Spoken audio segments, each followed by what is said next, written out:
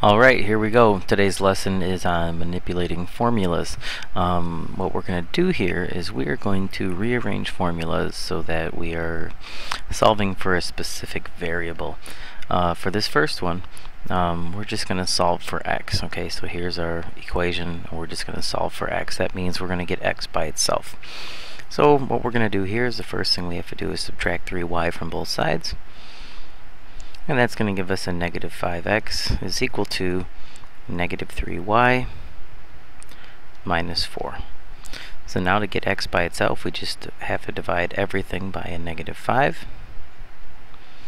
And we finish with x is equal to a positive 3 fifths y plus 4 fifths. And we're done. We have x all by itself. Okay, so this is the same thing means uh, i is equal to prt we want to solve for r. It means we're going to get r by itself. So to get rid of the p and t on the right side to have it just r all by itself we have to divide both sides by p and t. Now you can do this all at the exact same time because these p's and t's will both cancel and then you're going to be left with r is equal to i over pt and it's as simple as that. Uh, they do get a little bit more uh, difficult, uh, especially once we get towards the problems at the end of this lesson. So if you want, pause. Try number 3 and 4 on your own. Number 3 you need to solve for W. Number 4 you need to solve for R. And when you're ready, press play and you'll get to see how it's done. So here we go. The first thing you have to do is get W on the right side all by itself. So we're going to have P minus 2L is equal to 2W. And now you just have to divide everything by 2. And you will have P over 2 minus L is equal to W for this example.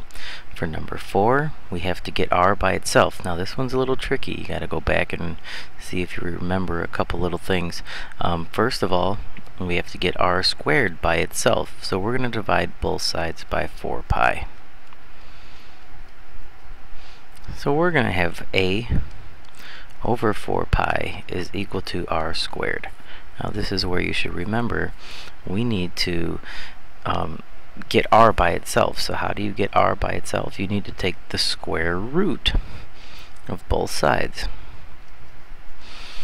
So that's going to give us the square root of a over 4 pi. Well, we have the square root of a. Square root of 4 is 2 radical pi because we can't take the square root of pi. And that's equal to r. And of course, don't forget your plus or minus. So here's the fun part. What do you do with that square root of pi in the denominator? Because if you remember back in the day, you are not allowed to have radicals in the denominator. So you probably learned you have to multiply the top and bottom by the square root of pi. Maybe you learned the shortcut where you just bring the radical from the bottom to the top and leave the inside down in the bottom. However you learned it, you just have to make sure that the square root of pi is no longer in the denominator. So then you would just have the radius is equal to plus or minus the square root of 8 pi over 2 pi. Yep, a little tricky from time to time, but back in the day, you learned how to work with radicals. If you forgot how to work with radicals, make sure you ask me when you see me tomorrow. Okay, number five and number six. Number five, all we have to do is solve for h. This one is a, another pretty straightforward, simple question. Since we're getting h by itself, we're allowed to have the r squared down in the bottom. So we're just going to divide both sides by pi r squared. And we have h is equal to v divided by pi r squared. No big deal for number five. But number six, we start getting a little bit tricky because we want to express the area in terms of h. So the first thing you want to remember is that the area of a triangle is 1 half the base times height. And if the perimeter of this triangle is 27, that'll tell you, since there's all these congruency tick marks on the triangle, that this is an equilateral triangle. So, here we go. We have the perimeter is 27, which means each side is 9. So the area is equal to 1 half the base of 9 times h. And we want to express the area in terms of h. That's what it's asking us to do. So we're allowed to have h in our final answer. As a matter of fact, we're supposed to. So then we're just going to have a is equal to 1 half of 9 is 9 halves, h, and we are done. That's our final answer. We leave it exactly like that. Okay? Um, these last two questions are multi-stepped. So what we're going to do is we're going to do number 7 together and then you're going to pause and you're going to try number 8 on your own. So this is a little bit difficult because we are going to um, manipulate a formula and then plug it into another formula. So this says that h of an equilateral triangle is the square root of 3 over 2b. Okay, the height of an equilateral triangle is the square root of 3 over 2b.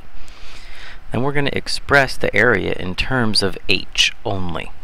So, what we need to do here first is set up our h is equal to the square root of 3 over 2b. Now since we want h to be in our final answer, we need to get b by itself. So to get rid of this fraction, we need to multiply both sides by the reciprocal. And that'll cancel those fractions on this side, and you will have b is equal to 2 over root 3h.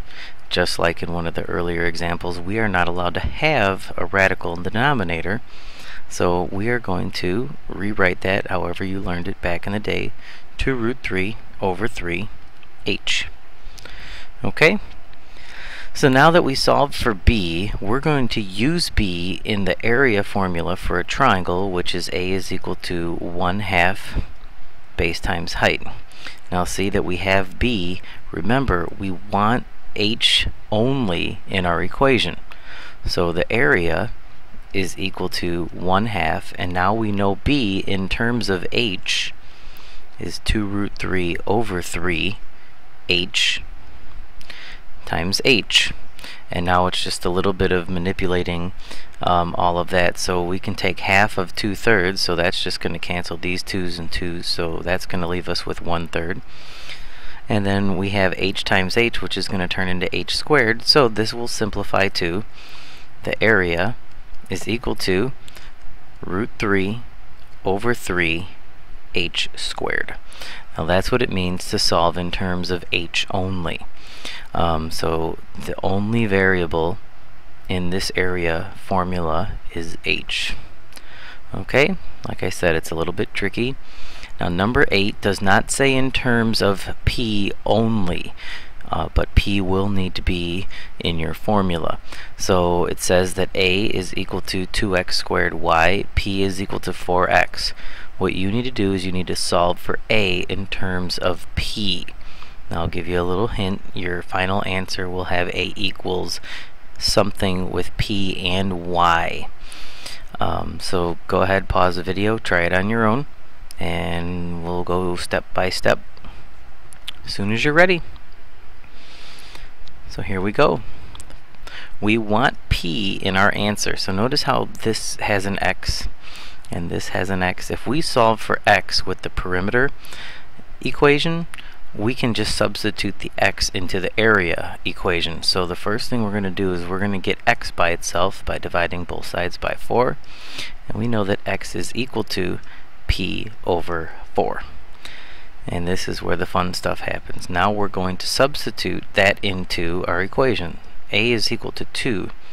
Now x is p over 4 squared y. So now we have to square this. So this is going to turn into 2 times p squared over 4 squared is 16 y. And then we have 2 divided by 16 which is just going to simplify to 1 eighth. So our final answer is a is equal to p squared over 8 y. Or you can put the y on top if you prefer.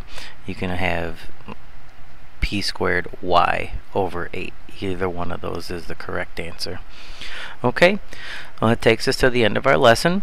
Um, again, this is just manipulating formulas. You've done stuff like this back in the day. Um, another example of manipulating something is uh, when you took a standard form equation of a line and converted it into slope-intercept form where you would get y by yourself. Okay, so that's this. Um, have a great day. We'll see you soon.